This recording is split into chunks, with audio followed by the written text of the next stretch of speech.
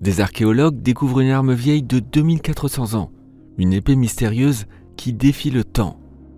Une arme vieille de presque 2500 ans est parfaitement conservée Oui, ça existe vraiment.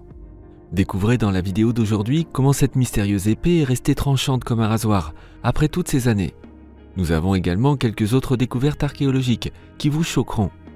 Vous allez être fasciné par ce snack bar avec de la nourriture vieille de 2000 ans et complètement dégoûté par tout ce que les scientifiques et archéologues ont trouvé à l'intérieur d'un énorme tas de crottes de dinosaures, extrêmement bien conservées. Une crotte géante de dinosaures.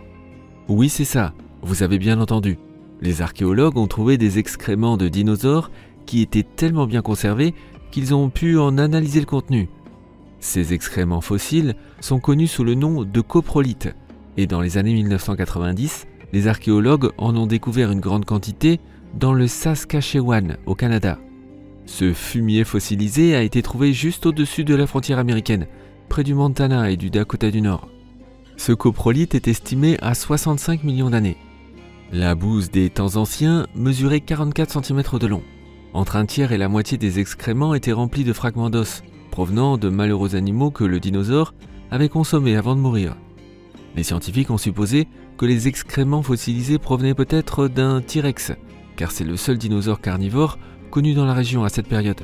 Mais tous ne partagent pas cet avis. Un paléontologue connu sous le nom de Carl Flessa, qui étudie les fossiles à l'Université de l'Arizona, a réuni une équipe pour approfondir les recherches. Ils ont commencé leur sale besogne en examinant les excréments de divers animaux vivants. L'équipe a pesé les excréments de divers mammifères et oiseaux, puis a comparé le poids des excréments de chaque animal à son poids corporel. Plus de 86 animaux ont été comparés, en partant des souris jusqu'aux éléphants. Ensuite, l'équipe a fait une application mathématique de données recueillies sur les animaux vivants pour estimer le poids des excréments des dinosaures. Pourquoi se donner tant de mal? Comment vous sentiriez-vous en vous réveillant chaque matin en sachant que votre travail de la journée consiste à peser des crottes d'animaux? Pour une femme nommée Karine Chin, les coprolites sont l'œuvre de sa vie. Elle adore les mystères et les découvertes qui peuvent découler de l'analyse des excréments fossilisés. Karine Chin travaille à l'Université du Colorado, à Boulder, en tant que paléontologue. Elle a écrit un article scientifique complet sur la découverte de 2,4 litres de fumier, et elle est d'accord pour dire que le meilleur suspect est le Tyrannosaurus rex, à l'heure actuelle en tout cas.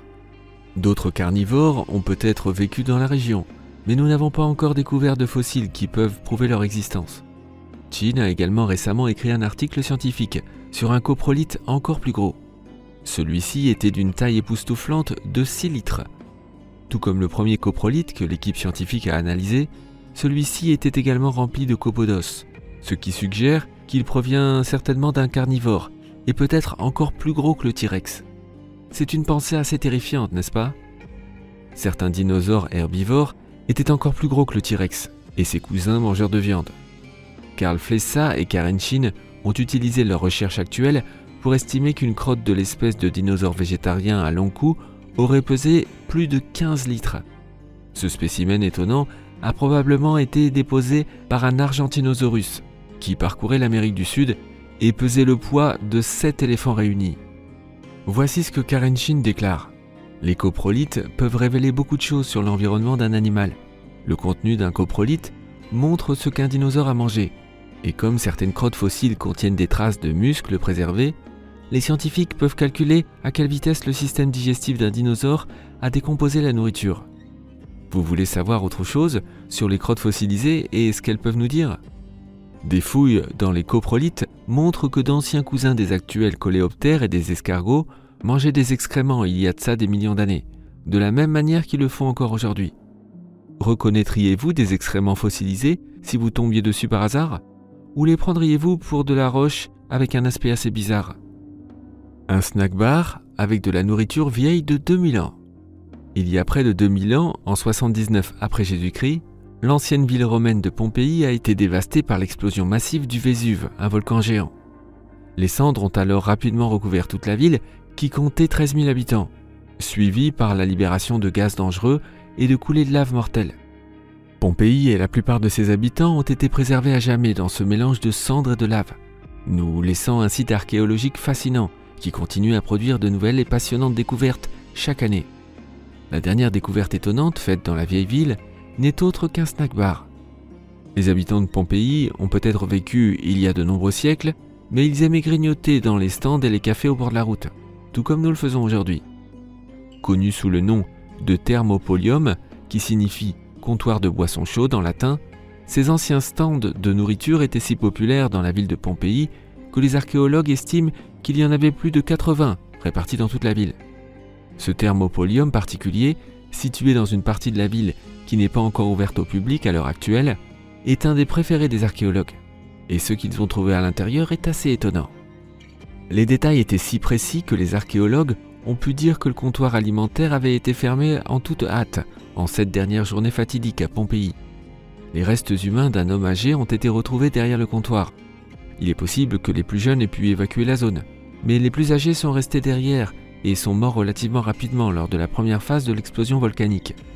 C'est ce que pense Massimo Ossana, le directeur général du parc archéologique de Pompéi. Le stand de nourriture lui-même est décoré de magnifiques fresques, représentant probablement le menu. Les fresques sont de couleurs vives. Elles montrent un poulet et deux canards colverts suspendus. La surface du stand de restauration présente de profonds trous circulaires servant à accueillir des bocaux en céramique. Et qu'est-ce que les archéologues ont trouvé exactement à l'intérieur du stand de nourriture? Rien d'autre que des morceaux de nourriture vieux de 2000 ans. Quand même. Il semble que ce café de bord de route offrait un large éventail de délicieuses options. On y a retrouvé des restes de porc, de poisson, d'escargots et de bœuf. Des fragments d'os de canard ont également été découverts à l'intérieur. Des fèves, que les Romains utilisaient pour modifier le goût du vin, ont également été retrouvées écrasées sur le site. Des ustensiles étaient également présents, ce qui donne une image complète du snack bar de Pompéi. On y a trouvé des ustensiles de cuisine, un bol en bronze, des bocaux en céramique et des bouteilles de vin. Les fouilles à Pompéi se poursuivent encore aujourd'hui. Avant de passer à la dernière histoire de notre saga d'objets fascinants, parfaitement préservés, n'oubliez pas d'appuyer sur le bouton like et de vous abonner à notre chaîne. Vous ne voulez pas manquer nos prochaines histoires folles, émouvantes, instructives ou amusantes l'ancienne épée chinoise qui a défié le temps. Il y a 50 ans, un archéologue fouillait une tombe en Chine lorsqu'il est tombé sur une épée ancienne. C'était en 1965 et l'emplacement était une série de tombes anciennes dans la province de Hubei. L'épée a été trouvée à côté d'un squelette.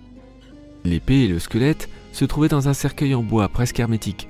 Les archéologues ont été stupéfaits qu'une épée en bronze parfaitement conservée avec un fourreau ait pu être récupérée dans un cercueil.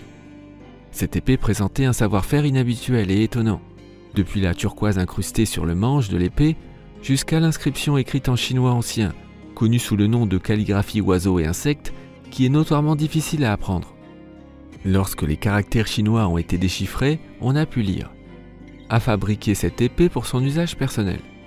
Les deux caractères restants étaient probablement le nom du roi, Gujian, qui a vécu de 496 à 465 avant Jésus-Christ, ce qui fait que l'épée a 2500 ans. Cette belle épée contenait encore plus de mystères et d'intrigues. Quand l'archéologue a touché la vieille lame, elle était si tranchante qu'elle a fait couler son sang. Des tests ont ensuite révélé que l'épée était si tranchante qu'elle pourrait facilement trancher une pile de 20 feuilles de papier. Personne ne s'attendait à une découverte aussi surprenante ce jour-là. Comment cette épée avait-elle pu survivre plus de 2000 ans dans un environnement humide, sans une seule trace de rouille? Et comment les anciens artisans chinois avaient-ils sculpté les caractères délicats et forgé une épée assez solide pour rester tranchante pendant une aussi longue période sans jamais subir d'usure?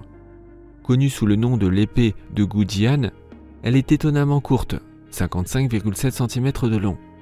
Les autres armes de la même période historique sont généralement plus longues. La poignée est incrustée de turquoise et délimitée par de la soie. La lame elle-même ne mesure que 4,6 cm de large. Avez-vous une idée de la façon dont cette épée a pu survivre plusieurs millénaires et rester intacte? Voici ce que les tests ont révélé. La composition de l'épée a permis de la rendre résistante à la rouille. L'épée de Gujian est principalement composée de bronze. Elle contient une forte concentration de cuivre, ce qui la rend plus souple et moins susceptible de se briser. Les bords sont en étain, ce qui les rend durs et tranchants. Il y a dans sa composition également de petites quantités de fer, de plomb et de soufre. Des recherches plus approfondies ont révélé une forte proportion de soufre et de cuivre sulfuré. Ceci confère à l'épée sa qualité anti-rouille. Quelle démonstration impressionnante de la qualité de l'artisanat chinois ancien. L'épée est si précieuse pour le peuple chinois qu'elle est considérée comme un trésor d'État, au même titre qu'Excalibur du roi Arthur en Occident. Aimeriez-vous avoir une épée qui a défié le temps? La seule façon de l'apercevoir est d'aller en Chine. Après qu'un ouvrier de Singapour a accidentellement cassé l'épée en démontant une exposition dans un musée, le gouvernement refuse de la laisser quitter la Chine continentale. Merci d'avoir regardé la vidéo d'aujourd'hui. Nous espérons que vous avez trouvé ces objets historiques fascinants comme nous. Lequel de ces objets préservés vous a le plus intrigué? La bouse de dinosaure L'ancien snack bar ou l'ancienne épée chinoise? Faites-le nous savoir dans les commentaires ci-dessous. A bientôt